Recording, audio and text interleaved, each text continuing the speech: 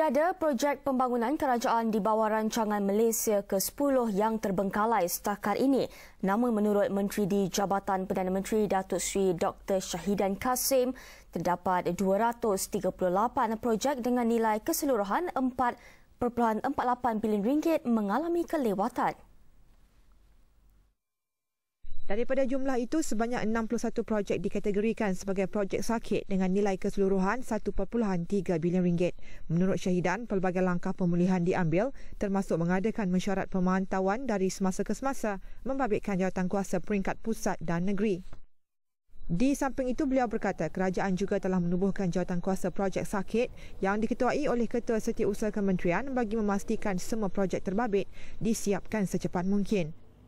Projek yang ditakrif sakit ini adalah projek yang kelewatan pelaksanaannya melebihi 2 bulan atau 20% daripada jadual yang ditetapkan.